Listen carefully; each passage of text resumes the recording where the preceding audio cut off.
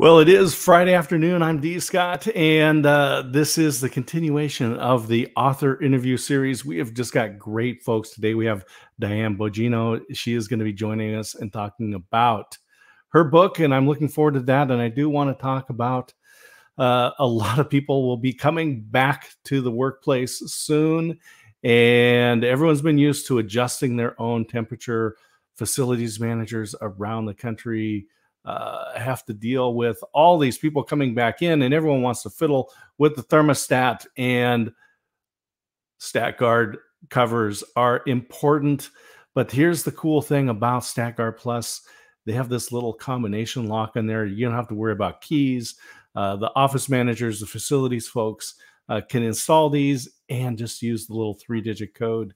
Uh, so, this, uh, the StatGuard Plus, is a great way to control your heating and cooling in the office place as more people are coming back. Thank God that we have the vaccine and we're not wearing masks as much anymore and people can come back together.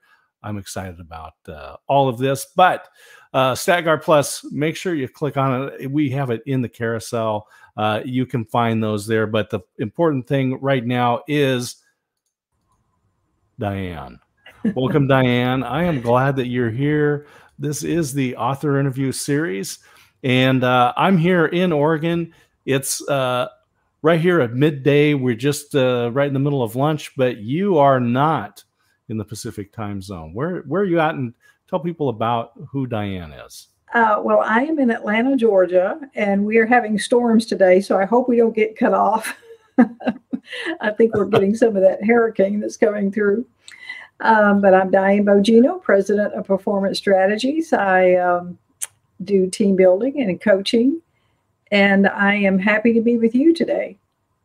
Well, thanks. Yeah, it's uh, and and we get to talk about your book, and so I'm I'm I'm highlighting it here, finding your bootstraps, and you've got eleven strategies to overcome this whole victim mentality. Um, and we'll, I kind of want to go into to some of this the story there, which I have to admit it's it's tough to read yeah. um, because I know it's a real human being. It's you that's there, but when you're reading it, it's a young child, a vulnerable child, and um, so that that it's tough because I know it's real. Um, but the beautiful thing about your book is is that you overcome, you have overcome.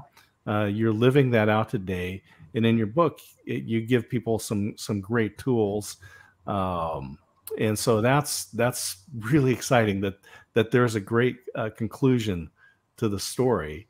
Um, but I, I just want to talk about this book came out uh, a number of years ago i think what 2016 i think.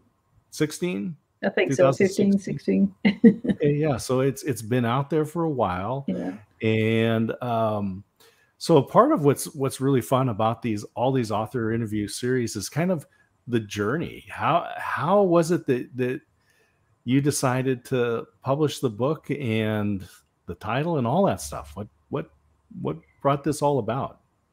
Well, I didn't want people who have gone through what I've gone through to languish in the past and suffer like I suffered. I did a lot mm. of the work myself in terms of getting over what I had gone through. And um, actually, the book needs updating because in 2018, um, I think you're right. I'm sorry, 205 it was. Uh, in 2018, I discovered through DNA that the man mentioned in the book is not my biological father. I'm actually oh, from wow. the Perry family. yes. so yeah, um, but they invited me to a family reunion. It was quite overwhelming. Mm. Yeah. Um, but wow. th- yeah, that was basically it. I did not want people to go through what, what I went through, and I wanted to give them tools so that they could manage quickly. Um, and and Scott, here's the really sad part: is that my story is not the worst story out there. Mm. There are far worse stories than mine. But I want to give everyone the message that you have something inside you that you can pull from mm-hmm. to help you deal with any tragedy, any hardship that you go through. And there are ways and means and people and all kinds of resources out there that that you just are unaware of until you start digging.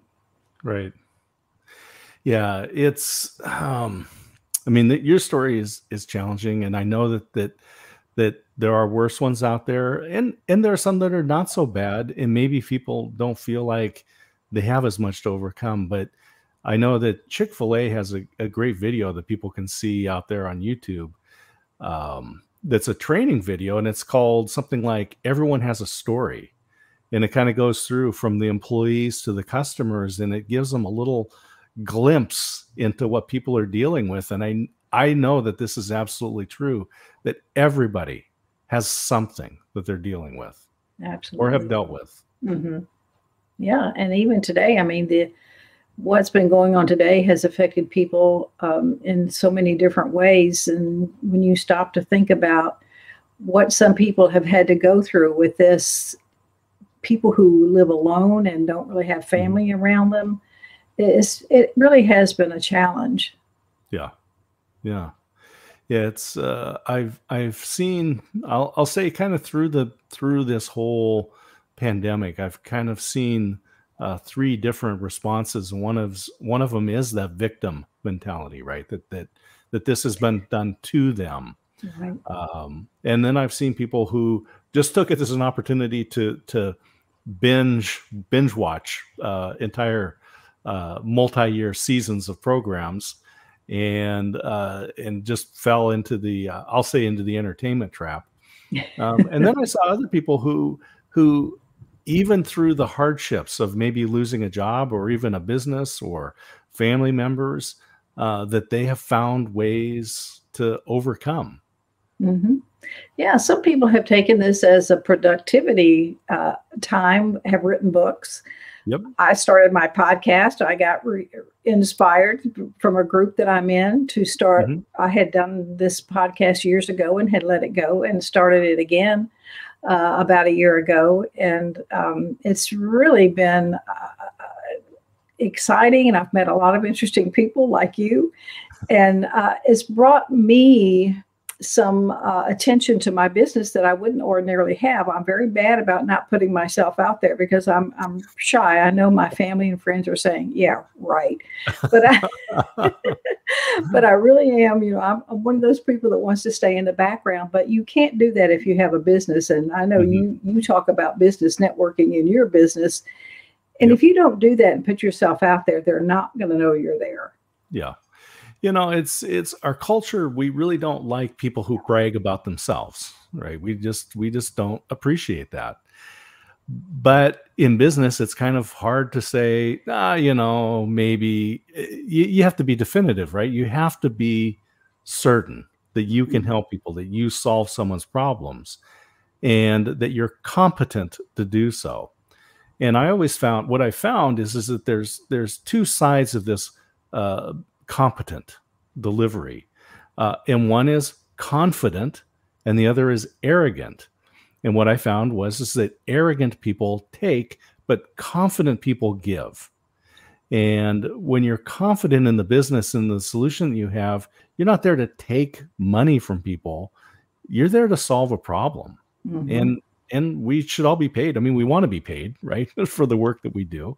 And and that's fair. But but doing it from a position of giving is mm-hmm. so different yeah you know that's uh you mentioned something that i've had a hard lesson learning and of course growing up like i did i had zero confidence zero zilch nada people will not buy from you if you are not confident mm-hmm. about the work that you do and the product that you have and the service that you provide and that's something that i've had to learn and and you're right. We you're an MBA. I have a master's. We've worked hard. We've done some work to better ourselves, improve ourselves, to learn our craft. I've you know I just went through a four hour certification on Zoom yesterday. Mm. Oh so, wow. Yeah, on on EQ, and I don't have a high EQ, but I learned how to be a nice person yesterday, so well, I'm good. Very good. And I want to explore that a little bit, but keep going. Well, that that was just the, the idea that people only see it's like the iceberg, right? They don't mm-hmm. see the, all the sweat and the hard work down that's under the water. They only right. see, oh, look how successful that person is at the top, you know, and they get all jealous, but they don't see you up late at night holding your eyes up with toothpicks. That's exactly right. I remember seeing this poster years ago, and it was uh, Jerry Rice and Joe Montana, and it just said, "The harder I work, the luckier I get." That's right. Yes, that's right. that's you truth. know, it's a, that's a, that's a, that's a, so uh, lifelong education. I mean, this is this is a this is an important thing. Um, and in your book, I mean, you talk about the childhood, um, just the difficulties, and I don't I'm I don't want to go into too many details because I want people to read the book. I want people to get it because it it reads really really well. I mean, it's oh, it's you. you. you did a great job writing. Uh, and I know you had uh, partners, you had a good editor, and I encourage people yes. that if they want to write a book, and I'll, I'll just break for the moment too to say this is absolutely ever the greatest time ever to be alive, and that if you want to write a book, you don't need uh, you don't need to find a publisher, you don't need an agent, you just need the willingness to get down there and actually do the writing.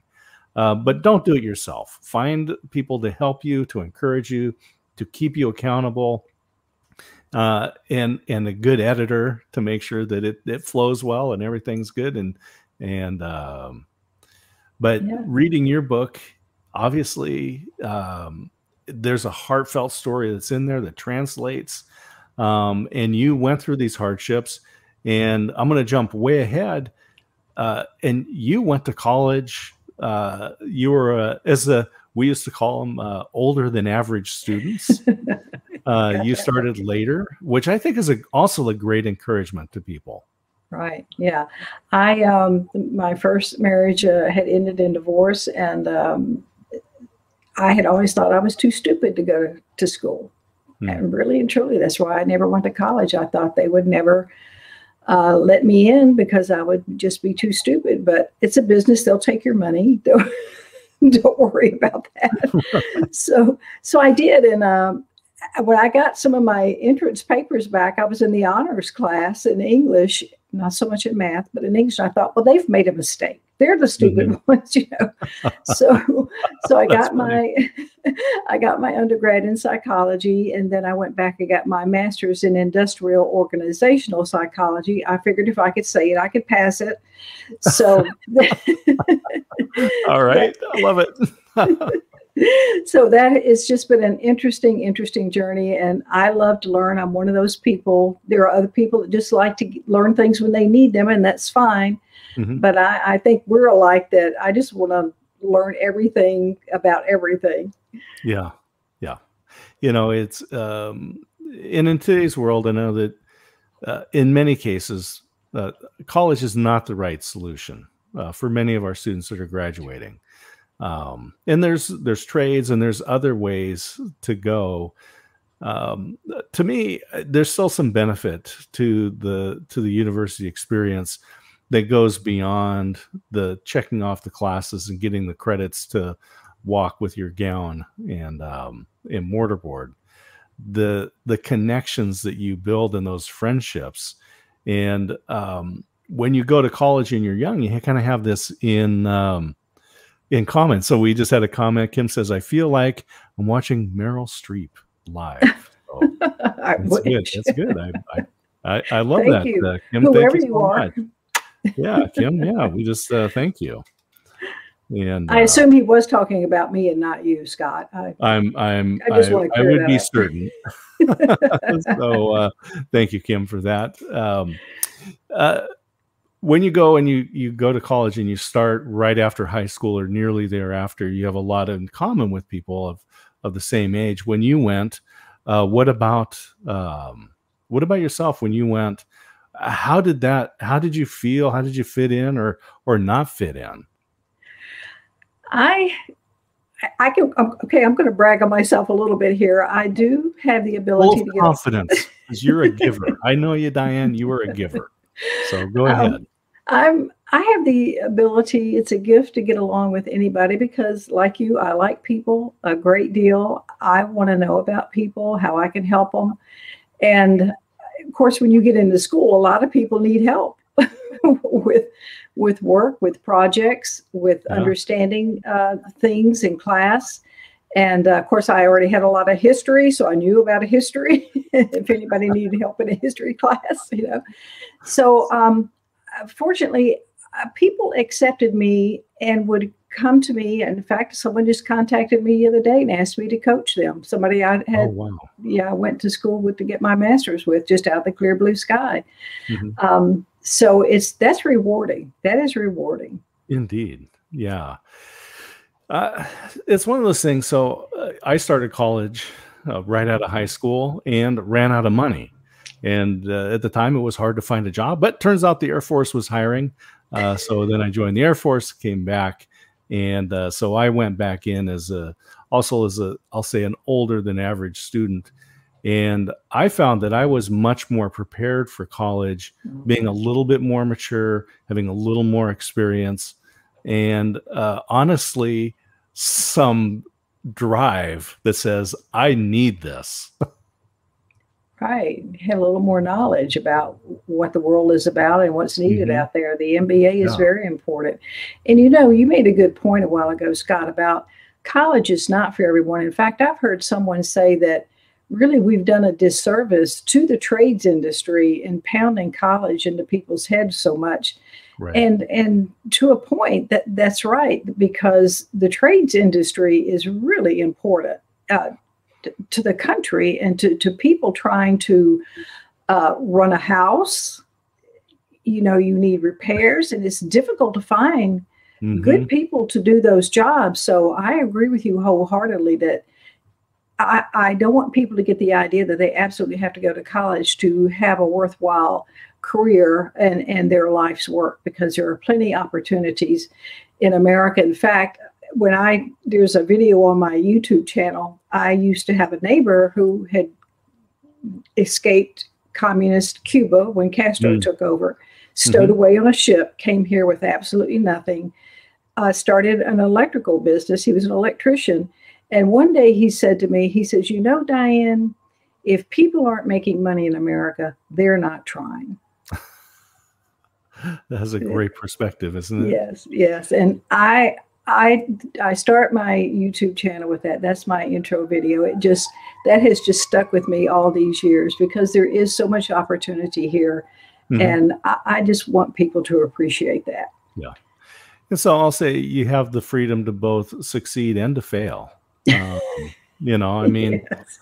And and I and I know and I am a huge fan of people starting a side business, even if you have a full time job uh, and a family, I still encourage people to start some sort of a side business because everyone has expertise and um, you solve problems for people. So I, I always encourage people to, to, to start a side business. And it's um, in this entrepreneurial uh, phase that we're in, uh, being promoted by a lot of shows like Shark Tank and and these other things that make it uh, a little more glamorous, if you will, uh, to be an entrepreneur, uh, even as a side gig. Mm-hmm. And one of the phrases that it comes out is fail fast. A lot of people want to say fail fast, but I'll I'll just tell you, I'm not a big fan of failing fast, but I am a big fan of making a decision quickly. And if you get involved in something and it's not working out, then just decide this isn't going to work out and and move on. But mm-hmm. uh, I'm not a big fan of failure. Well, I don't like failing either, but I agree with you on the side gig because look what's happened. People had nothing to fall back on in many cases, and some did, uh, mm-hmm. which is a good thing. And you you always have got to have something in the basket, you or another basket, let me say, because you can't put all your eggs in one basket. You've got to have uh, some backup system. And so I agree with you wholeheartedly on that. And that's why, you know, as entrepreneurs, we have multiple streams of income, as they call it. Yeah. So, uh-huh. you know, there's books, coaching, speaking, training, all of those things.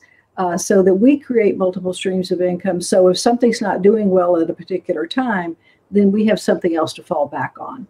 Yep. Yeah. I, I, I'm a huge fan of that. And, um, the story that I tell was way back, and this was a lesson that I learned when I was in banking. So I was working full time as a banker, and I had a client that was a driver for UPS, and so she was always out on the road making deliveries, and it was a fine. It's a good job, you know, mm-hmm. being a driver, delivery for for UPS is a great job.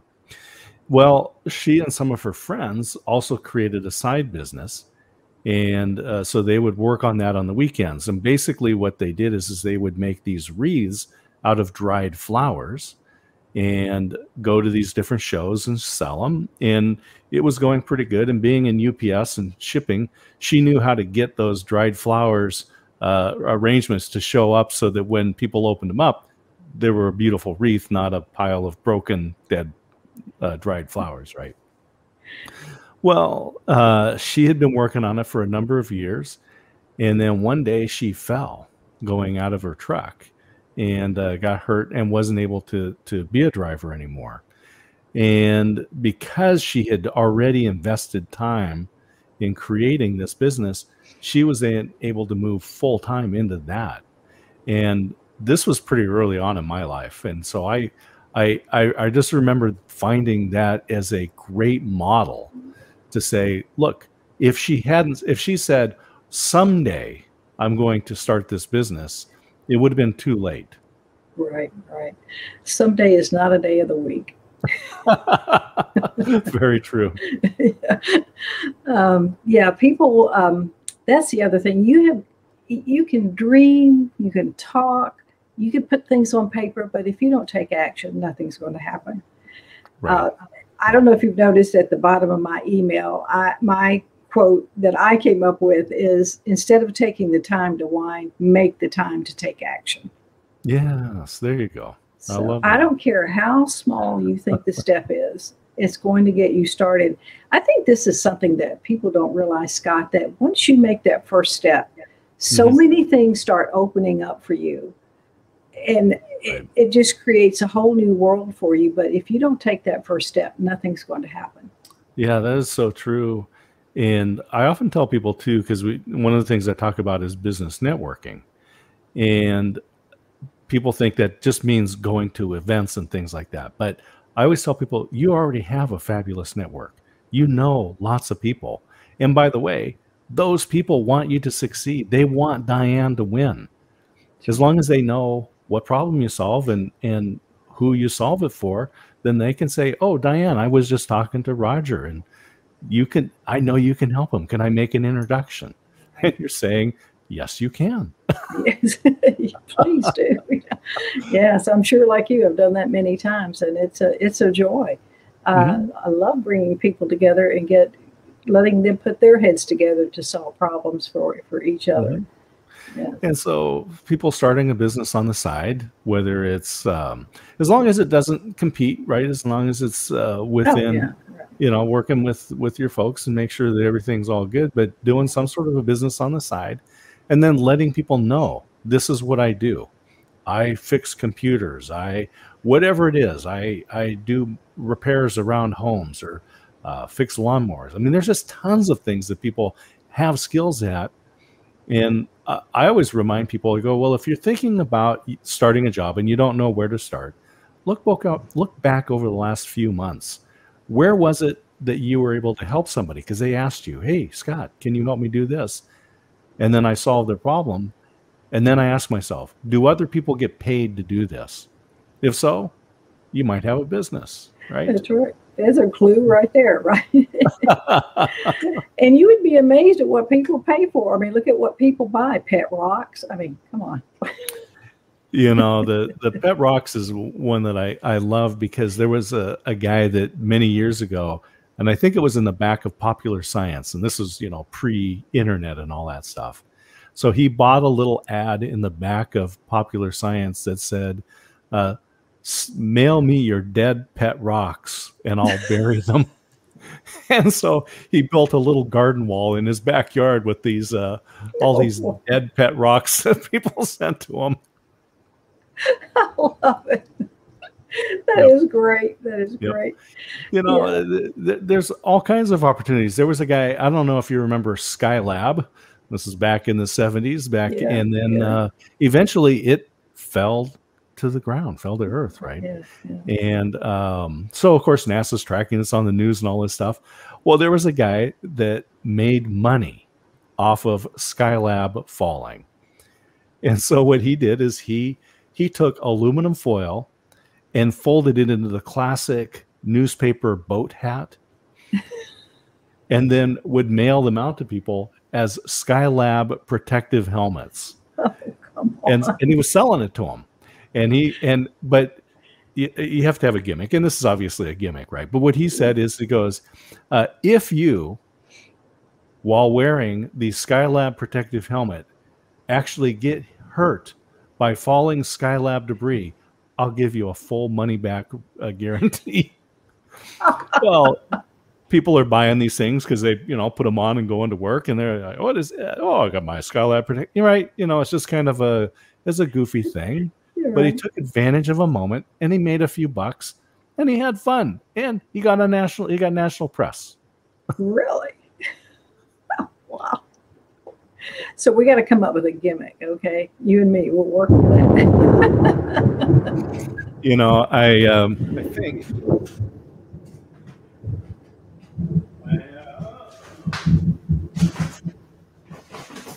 Scott's digging in his treasure chest there. What's he going to come up with?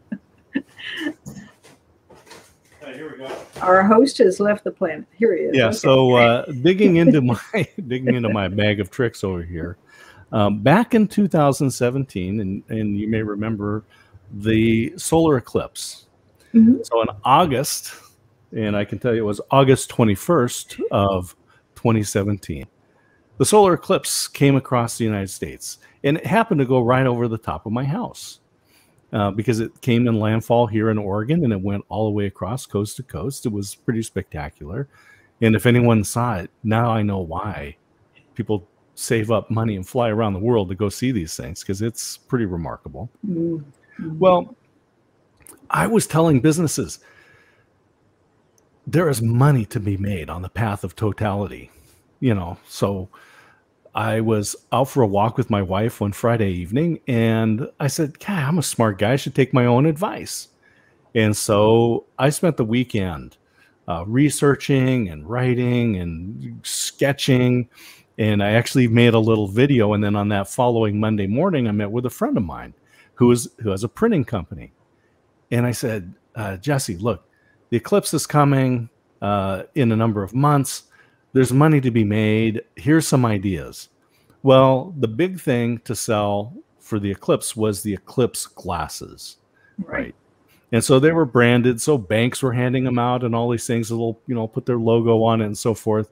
So everyone was selling these eclipse glasses. So I'm in Oregon. I'm in the Northwest, and so uh, we decided to create uh, eclipse glasses ourselves, uh, but we are in microbrew territory, so we did pints. We oh. did, we did, yeah. So we are selling uh, eclipse glasses as well, but they were pints. so I, I scabbed out this ugly graphic, and we had a designer who, you know, actually did a good job, and then she made this infographic for us with these different things that you should that you would find. And then I went out to bars and restaurants I sold them by the case to people who were having uh, backyard parties and said, you know, eclipse parties and said, oh, these will be great. I'll buy a case of them so that everyone's got a little souvenir. and so I would go to these retail outlets, you know, with the cases and say, you know, hey, we've got these things. We've made them right here uh, in the Willamette Valley. And, um, and I'd show them, I go, look, we've got these eclipse glasses and uh, you know commemorates the date, shows the landfall in Oregon and the path of the eclipse, and they go and because we're uh, in Oregon, not only do we like to drink beer, but we're smart. I love it. We, that is great. Not only did we have fun, but we made money selling something. And so, as you said, you've got to find those opportunities. Right. And the pandemic provided opportunities. It took things away, but it also provided opportunities for people. And this, I'm just going to, I'm going to, I'm going to go back to your book because, um, I mean, you're talking about these uh, 11 ways to avoid victim thinking. And and as I said, one of the things people kind of fell into this victim uh, through the pandemic, whether their jobs or something happened to them. And and so I'd like to go back and kind of talk a little bit about some of these strategies that, that you have that people can implement because your book really is a workbook. It helps people, gives them solid tools on what they can do. Yeah, thank you.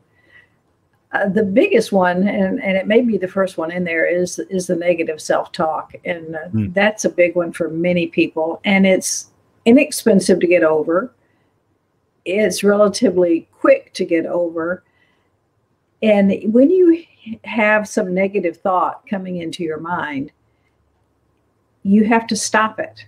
You have to stop it immediately, and you have to say something positive I was so bad at it, I had to say stop out loud to myself. Wow. Yes, to make myself stop having these negative thoughts. That's not to say I don't ever have one, of course, but it's not as bad as it, it used to be at all. I mean, um, you know, even at one time there was suicide on on the horizon. Hmm. Uh, it was a strong uh, thought for me, but um, uh, thank goodness I got over that. Uh, I, I, guess. I remember reading that in, yeah, the, so, the book. Yeah. Um, you just si- simply cannot degrade yourself. There are enough people out there that will do it for you. Okay. Yeah. So, but you have to value yourself first because if you don't mm-hmm. value yourself, and as you say, have that confidence in yourself, no one else is going to either. So it must start with you. And that is one simple technique to do is to stop the negative thinking. Mm-hmm.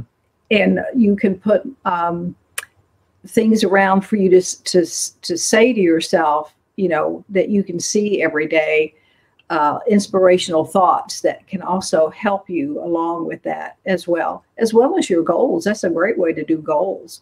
Mm-hmm. And, and, you know, Scott, that's another thing. People say, I don't want to set goals. You know, they're just going to change, or, you know, I'm probably not going to reach them or whatever. But sure. here's the thing that people need to realize is that goals are what pull us through life. Mm-hmm.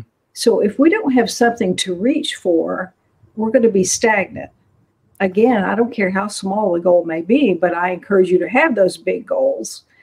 But have some goals that you're going to try to strive for because that will pull you through and get you through many of these obstacles that we face in life. Yep. You know, I had that uh, quote on my website uh, for a long time between Alice of Alice in Wonderland and the uh, caterpillar. because uh, Alice asked the caterpillar which way she should go. And the caterpillar says, Well, where do you want where do you want to go? And she goes, Well, it doesn't really matter as long as I get somewhere and he's like, "Well, you're that's bound to happen if you if you go far enough." That's right. And that's you, people without goals. That's right. You're going to get yeah. somewhere. But will it be where you need to be? Very likely not. Right. Very likely not. oh, that's great. I um and I and I think about this. So this this negative self talk and uh, having goals. As I as I think about this, and you you study psychology, and then got your masters in in uh, organizations as well that that there's actually physical problems that manifest when we continually have these negative self thoughts oh yeah uh, the stress uh, you can have uh, gut problems uh, even pain uh, headaches things of that nature the depression mm. which keeps you from functioning the way that uh, to your ultimate level. And um, you know, the stress, of course, as we all know, can get so bad that it it would cause cause you to have to have some medical intervention, and you know, you don't want to do that. It's just the the mental, the fragile the fragility of the the mental system, uh, and I think COVID has brought that more to the forefront than ever mm-hmm. before sure. even in my own mind. And um, you know, thank goodness I'm I'm a stubborn person, I guess that that I'm not going to let these things get to me. But everybody is not that lucky. Everybody is not that fortunate. and and need some help and there's nothing wrong with getting help my gosh i had years of therapy myself come on you know and, and i went to therapy for years and uh, i would lay off for years but sometimes then i would have to go back and there's mm-hmm. nothing wrong with that everybody needs help even if it's a coach or a mentor if you're trying to build your career for example you can't do it yourself you're you're not super person okay? I'm sorry to break the news. That's right. That's right. Well, hey, I want to continue on with the uh, with these strategies here. I do want to say thank you to uh, the folks over at StatGuard Plus, and these are this was actually invented by my friend David Osk, and he was a facilities manager for years in a large telecom co- uh, company, and they would have these thermostat covers to protect the uh, thermostats and keep people from messing around with them. And one of the things that I found, because I got a buddy that is a, a an HVAC guy, he says that uh, when you turn these thermostats down too much and the air conditioning units get going, there's a, actually can build up ice in the compressor units and burn it out, and then you're going to be suffering uh, because you won't have the air conditioning. And so uh, these thermostat covers are great, but again, the the key that that David had when they when they invented this was this this little combination lock uh, on the StatGuard cover that doesn't have you don't have to worry about a lost key, and you can change the code anytime. Uh, once you open it up and you know it, you're able to, to set that uh, and just protect that. And so, as people are coming back to work it's uh, this is just a just a great thing to to install so make sure you click on those add those into your cart and uh, use those in your workplace uh, so just great to be uh, partnering here with StatGuard Plus. So, uh, mm. Diane, thanks. That might save a lot of marriages too. So, yeah. you know, they were talking. To, he actually created some commercials that was like, uh, "Protect the things that are important." and one of them was like rolls of toilet paper. So I don't know that, uh, that would actually fit in there, but uh, since we just went through this pandemic and uh, everyone was clutching at their uh, their uh, their supply, so right, exactly.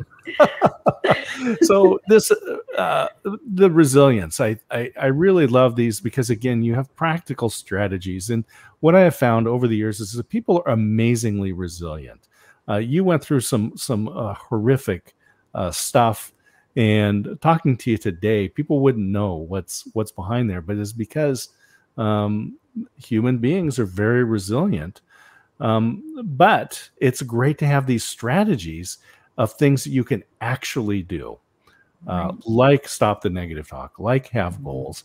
What are what are some of the other strategies that that people can implement? Uh, one thing is very simple. One, make choices. We have the ability to make choices, hmm. and um, you you just have to sometimes ask yourself, which is going to be more beneficial for me to do? Should I go this route or that route? What what are going to be the consequences of this? Mm-hmm. And as I said, you can even talk to a coach about ways to go in, in your life, but make the better choice. Some people mm-hmm. don't do that people who um, have been abused as children oftentimes wind up in crime, in prison, as prostitutes, uh, mm-hmm. on drugs. But those are choices you make. Sure.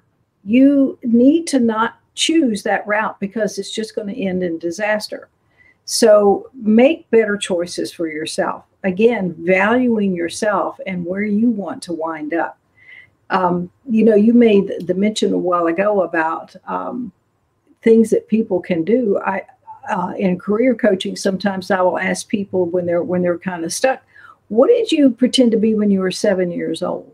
Believe mm it or hmm. not, that will give you a clue. So now we can begin making choices mm-hmm. and setting goals and going down a better path. Right. So it it's not rocket science, people. I hate to, you know, burst your bubble, but it, it's pretty simple. right. Well, you know, over the years, I've always found that the best teachers are the ones that really what they what they've actually done is is provide language and structure around what I already knew. Right. It was it it it, but I I couldn't pull it together. I couldn't mm-hmm. define what it was. I couldn't put the pieces together. Although they were there, they just gave language to it and it became clear. And so right. it may not be rocket science, but it, you do need some outside assistance. You need someone yeah. to hold you accountable. Oh, well, that's true too. Yeah, sometimes we just can't connect the dots, and then sometimes we get discouraged or uh, we start failing or faltering. And yes, that's when we need that accountability and things like mastermind groups. Yeah, uh, are just mm-hmm. great. Uh, I don't know if you have one, but uh, I have one. I'm in several, mm-hmm. and they've just been uh, a great benefit to me. Uh, it's just simply a group of like minded people for those uh, in your audience who are not familiar with a mastermind. And uh, you can have them for business, for mm-hmm. parenting, mm-hmm. um, anything, education, trying to learn something, uh, cooking. I don't care what it is. You can create a mastermind group around it and you can find one or you can create one. Either yeah, way. I, yeah, that's, I, I am a huge proponent of mastermind groups, and uh, I I do have a mastermind that that I run that uh, I co I co lead with uh with Russ Hedge, and that has yeah. been so important. But I'm also a, another member of a, of a paid mastermind organization called Iron Sharpens Iron, and uh, I I pay a fee every month for that, and I uh, will tell people that it I could I could lease a very very nice automobile uh, for what I pay every month for that mastermind. Mm. But I I've been in it for over two years, and being a member of an organization like that is absolutely the best. And I'll say specifically this uh, this this Iron Sharpens Iron group, it's been the best investment that I've made in my business, personal, and spiritual life. And mm. and I don't know what I would have done over these last two years uh, without it. And every week we meet, and then you have conversations in between time. Uh, but you have committed people like that, and it's essentially peer mentoring. Mm-hmm. But um, the impact that it will have on your life is huge and probably immeasurable. Yes, yes. Uh, for me, you know, I, I, was on one this afternoon, and um, the, when you see what other people do as well and what they accomplish, it's inspiring. It's quite inspiring, and and you think, well, gosh, I could do that. Mm-hmm. So that's very helpful to me because you know the first thought is I can't do that, or how would I do that? And mm. that's the other thing is you you learn logistically how to do things from other people in these mastermind groups, which is awesome because you'd have to pay a lot of money for that. yes. Uh huh. Yeah. Yeah. It's it's uh as I say, it's it's amazing what we can do when we network the supercomputers between our ears. that's right. the six inches between our ears is often what stops us quicker than anything. so um, mastermind groups definitely something uh, mm-hmm. I support. I'm glad that that you you also encourage people to be involved in those. And if you don't have one, that that you then make one. And and it's not hard to do. Uh, reach mm-hmm. out, talk to Diane. She'll help you start a mastermind group. Um, what are some to. of the other What are some of the other uh, strategies and techniques that uh, people can do to help overcome the victim thinking? You have to um, hang around with people that will encourage you. You cannot hang around with people that put you down, mm. that poo poo your ideas, that don't think you're worth the effort or the investment that you need to make in yourself. I don't care if they're family, I don't care if they're friends. Yeah. I, you know, it doesn't matter. You can't. What is what is that saying about uh, the five people you hang around with? Or yeah, something? Jim Rohn. That's yeah. Jim Jim Rohn. Yeah, you are the. We are the sum of the five people we spend the most time with. Yes, and, and the books you read, and uh, you know, garbage in, garbage out. Yeah. So you have got to hang around with people that you want to be like, people that inspire you, uh, you've got to have some role models. Mm-hmm. And it's nice to have people that might even be dead, but it's even better to have people that are alive. Yes. Uh, what is it? Six, six, uh, feet of separation or something. Especially these days. I mean, my goodness, you can get mm. in touch with almost anybody these days. And that's right. You may think, you may hesitate to contact someone uh, like like take you scott they may say well scott's this big showbiz guy. He's got his own Amazon show. But I'm gonna tell you something. You you reach out to Scott and he's like, Hey, I'll be happy to help you. Here's what you do, blah, blah, blah, blah, blah. You know, let's have a conversation Thank around you. that. I can't tell you how many 30 minute conversations I've had with people that mm-hmm. I've got another one coming up. And there's a young lady who wants to get in industrial organizational psychology and wants to know about that. So yes, I have scheduled a conversation with her around that. Mm-hmm. People like to help people. That's it's so important, and uh, cutting the negativity out of your life. And so we talked about taking the negative thoughts out, these these downgrading thoughts of yourself.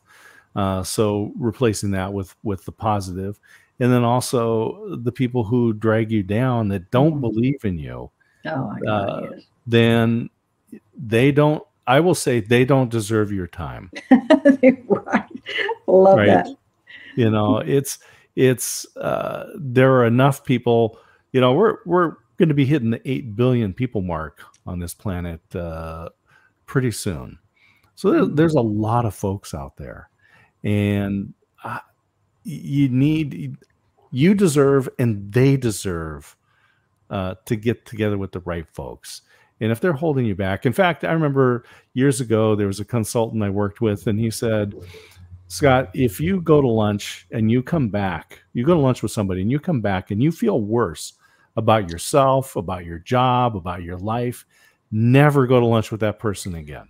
For sure. he said, if you come back and you're charged up and you're ready to hit it and you feel great, he said, next time buy that person lunch. Yeah.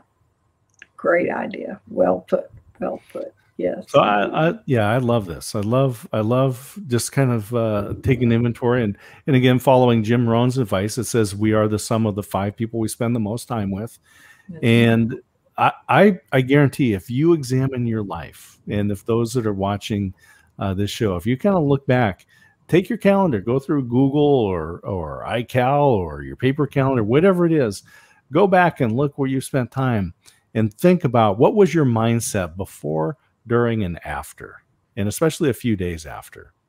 And um, Diane's, you're you're spot on.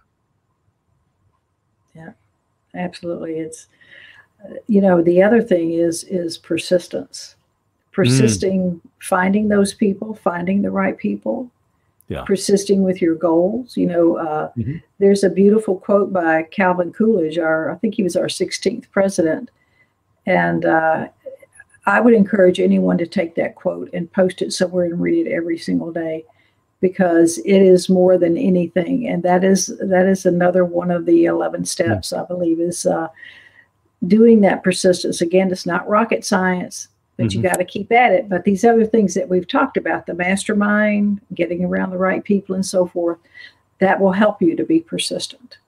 You know it's it your book does it's full of great quotes. Um, uh, from from uh, presidents to authors uh, to to um, actors, playwrights, and uh, even even the author of the book is quoted in there. And I just thought that, that, was it's great. It's very encouraging. I love the layout too because it's it kind of makes it easy to to to um, to find some of these quotes and uh, just be inspired by them.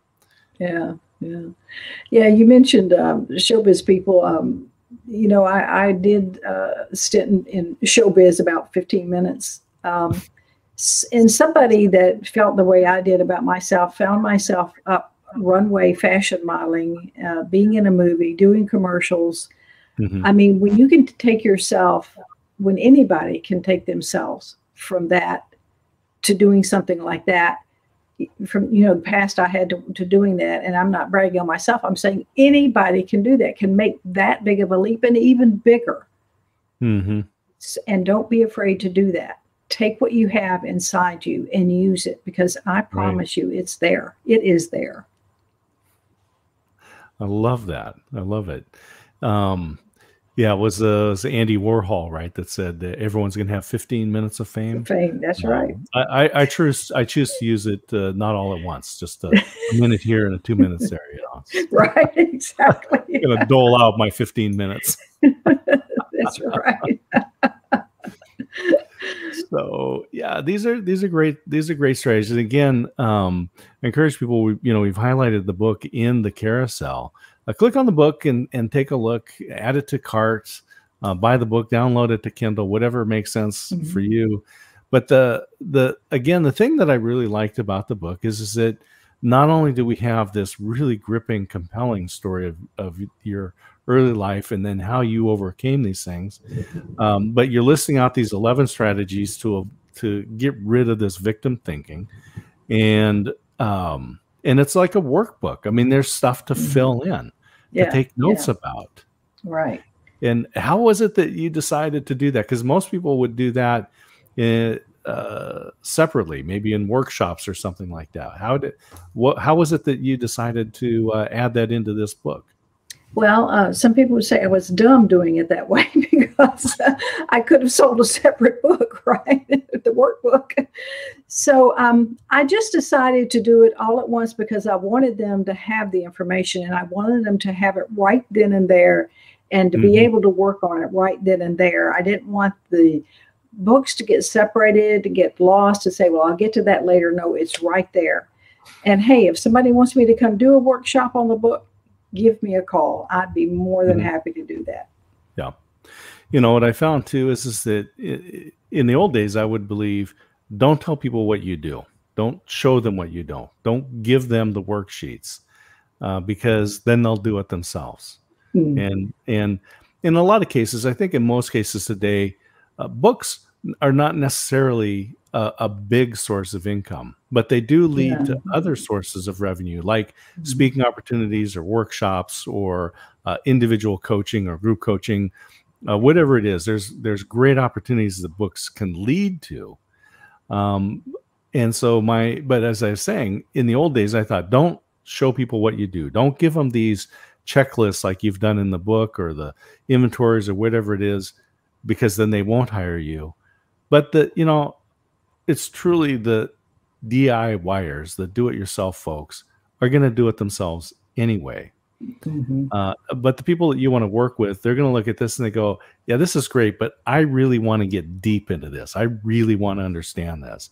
I need to hire Diane. Mm-hmm.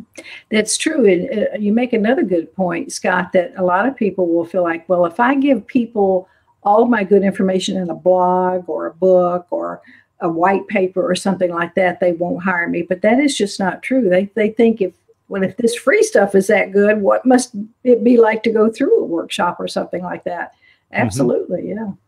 yeah. There was a there's a great video, and I I share this story uh, periodically because it's so good. You can watch Penn and Teller, the magicians, and these guys fabulous, right? So they do the traditional three cups and the little balls and it's hidden and it comes up and there's three balls and no balls and a big ball and all this stuff, right? I mean, it's just it's fascinating. And you watch it and it's just amazing. And then they go in slow motion and they're going and they're telling you exactly what they did when they did it.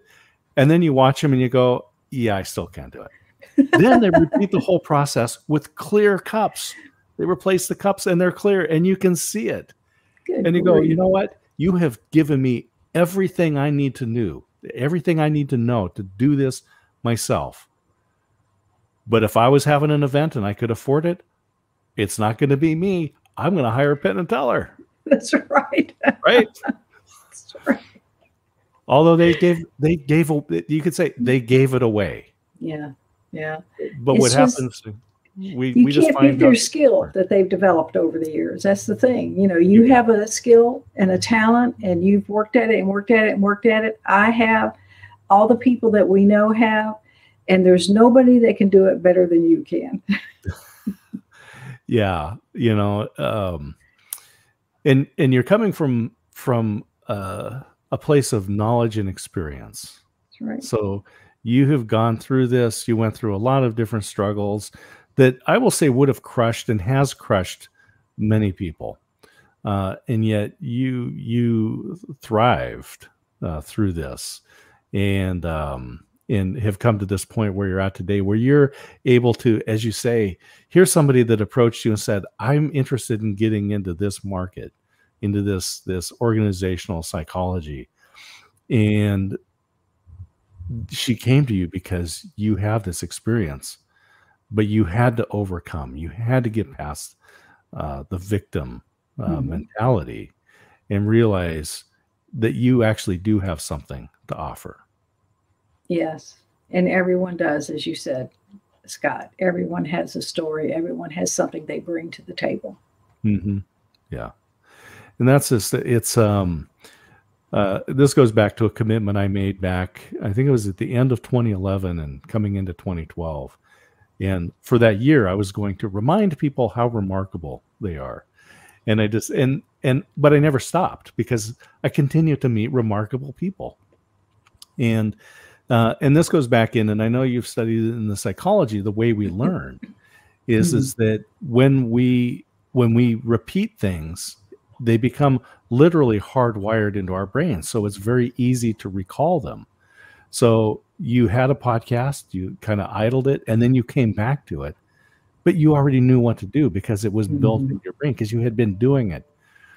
But a person who has never had a podcast, it's like magic. How did you do that, Diane? right? That's true. We we look at other people and uh, we think that's amazing. It's amazing. It's just hard work and sweat and learning. But we we forget because it's you go well to do a podcast. You just do this, this, this, and this because it's hardwired in your brain because you worked hard to get that knowledge to get to mm. that point.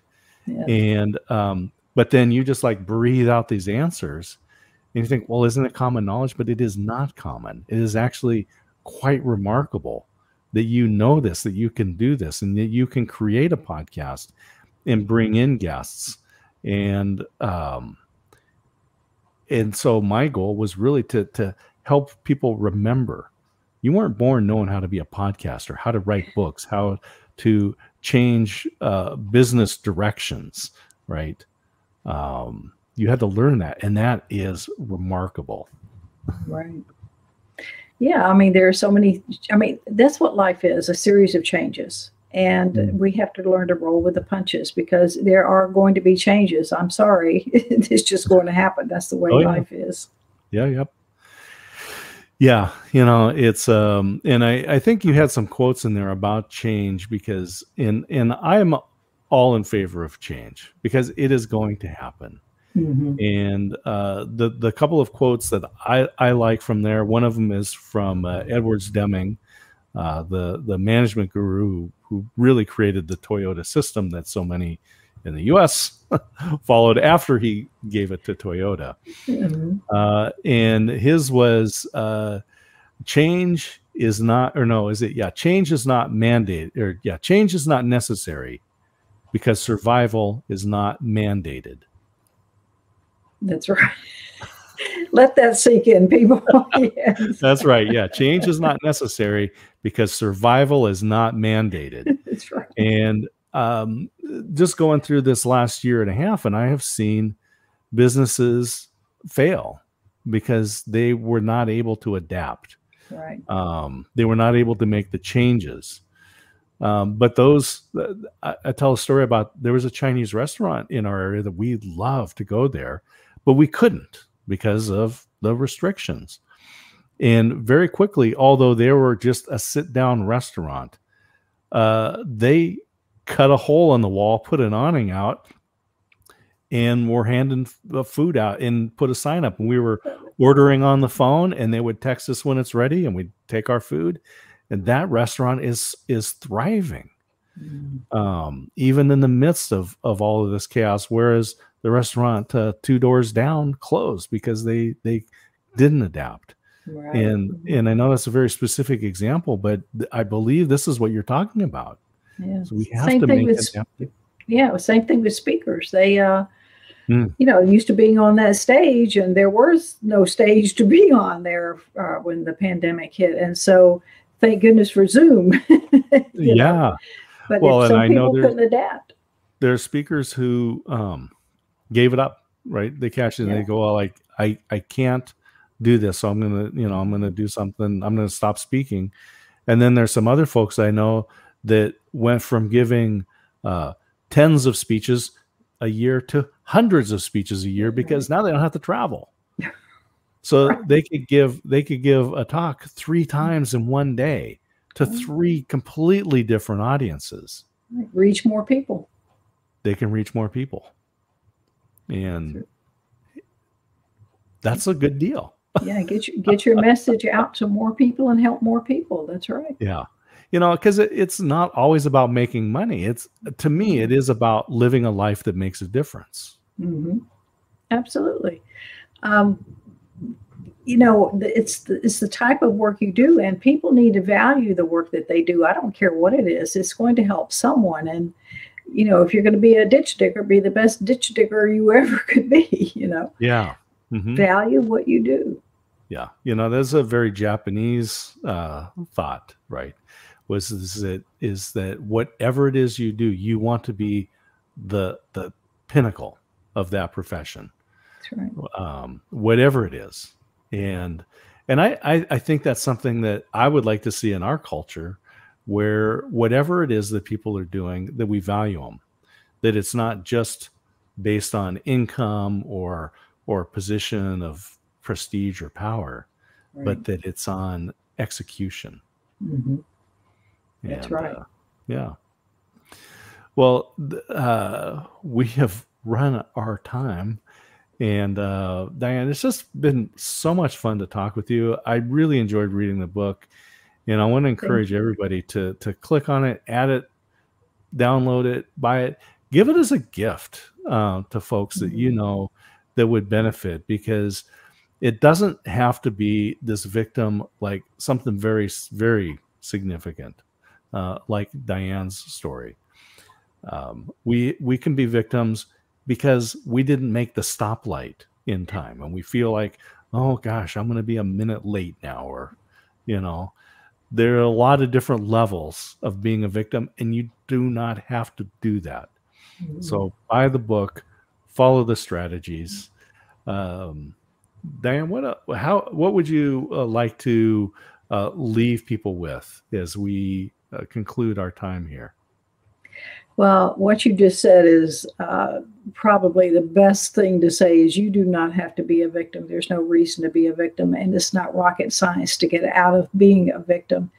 Being a victim serves no purpose at all. It's just a waste of time, energy, and resources. So be the best that you can be, value yourself. And Scott, I appreciate you allowing me to come on and deliver this message, and it's just been a pleasure. Well, wonderful. Go ahead and hang out in the green room for a moment and um, we'll get back together. So, this is the uh, author interview series. I'm D. Scott Smith, uh, and we have been sponsored by StatGuard Plus. These thermostat covers invented by David Osk. And uh, it's just a, a great way to protect the uh, HVAC systems within the workplace. Again, people are coming back to work. This is good news. We're coming back in the office place. We're getting back together. Uh, everyone's been used to kind of setting their own temperature. They'll be looking for those thermostats. Uh, we want to maintain a little bit of control over that. And uh, the StatGuard Plus, again, with this little combination lock on there, you don't have to worry about the keys. You just have the uh, facilities manager have the code or the office manager. Uh, you can change this and set it to what makes sense. But the StatGuard Plus is just a fabulous product. It is clear, it is white, it is in brushed stainless steel or brushed brushed nickel. It is a great product, and I just thank them for uh, for sponsoring the author interview series. And we have been talking to Diane Bogino and her book "Finding Your Bootstraps: Eleven Steps to Overcoming Victim Thinking." Download the book, and with that, we'll sign off. Everyone have a fabulous day.